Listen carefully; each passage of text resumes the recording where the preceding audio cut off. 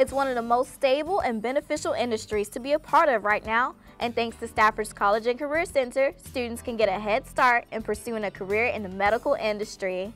Health Science Technology teacher Dana Rouse tells us more on what keeps students not rushing to the ER, but to her classroom, STAT. Students love the Health Science Academy. It's one of our more popular programs.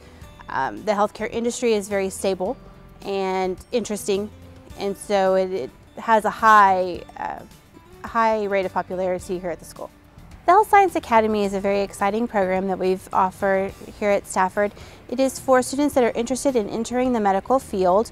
We do both college preparatory and work-based skills so that the student can choose after high school to either enter a college degree program or to go on into the health industry. Our introductory class is very broad spectrum. We cover a little bit of everything from medicine to dentistry, a little bit of veterinary medicine, a very wide range of health careers.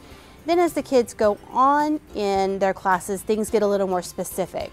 We have Health Science Technology 1, which takes kids into the hospital and allows them to follow healthcare professionals.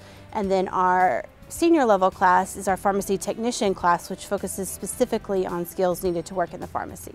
Uh, we cover a very wide range of disease processes. We take the students through the anatomy of a human from head to toe and then discuss the diseases that can occur at each level as well as accidents and injuries and the care that someone with those conditions might receive. We are preparing students for both the pharmacy technician certification jobs and also for entry-level clerical and um, assistant type positions in the healthcare industry. The pharmacy technician class is our senior level course. Our, our kiddos that are in that class have been through three years of health science education already. Uh, once they hit that class, they get the curriculum that is designed to make them successful on the pharmacy technician certification examination by the State of Texas Board of Pharmacy. So they'll actually be certified when they leave high school to work in a pharmacy as a pharmacy technician. There's a couple of benefits. The, the biggest benefit is that if you get into college without a very good understanding of what you want to do, that's a pretty expensive mistake to make. Um, college is kind of late for figuring out what you're interested in. So if they take the health science courses, they get a very good idea of whether or not they really want to work in healthcare and what it would really be like to be a doctor or a nurse, what's required of them. Um, also, the academic foundation is very specific. They get a good background in medical terminology, they learn a lot of anatomy and physiology, uh, things that are designed to make those college courses easier.